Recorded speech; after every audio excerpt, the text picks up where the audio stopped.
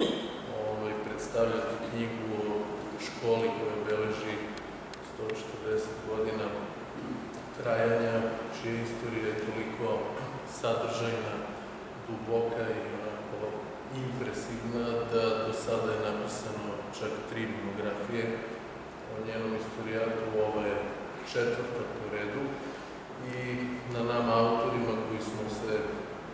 da tako kažem, koštac sa prilično nezahvalnim zadatkom pisanja istorije jedne elitne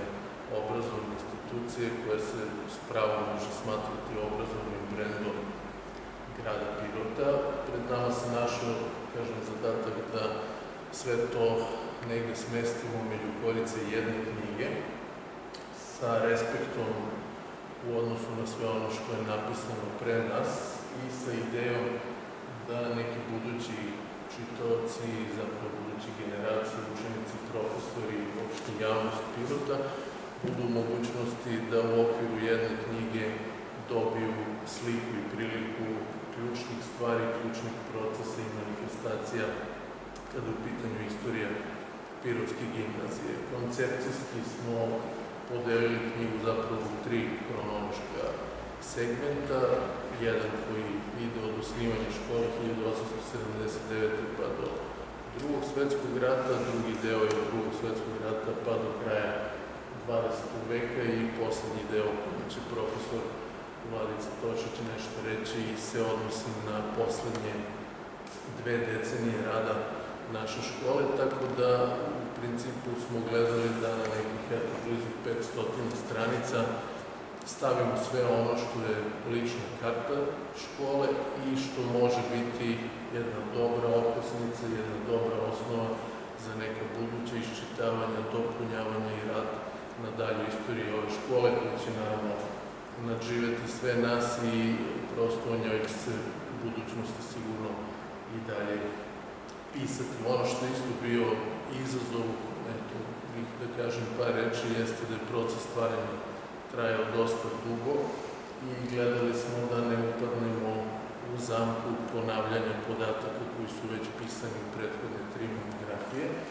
Iz toga smo se trudili da nekako izađemo, mada ono što je zaista bitno moralo se i ovog puta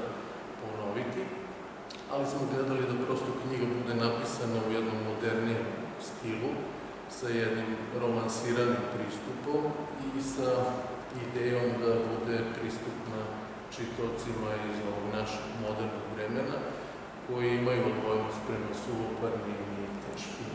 istorijskim podacima, tako da smo, vidjet ćete i sami oni koji budu čitali knjigu, e, maksimalno relaksirali tekst od svega onoga što može biti na neki način zamorno ili odbojno onima koji sednu da se eto, istorijom škole bavi. Tako da i koncepcijski i uopšte sadržajno knjiga je dosta drugačija od prethodnih izdanja, s tim što najviše liči mi smo ovde stavili taj prvi primerak, odnosno prvo izdanje monografije iz 1979. Potrudili smo se da napravimo na neki način koncepcijski sličnu knjigu i naslov knjige identičan, odnosno odabrali smo naslov ove monografije Pirotska gimnazija, iako je zvanični naziv škole gimnazija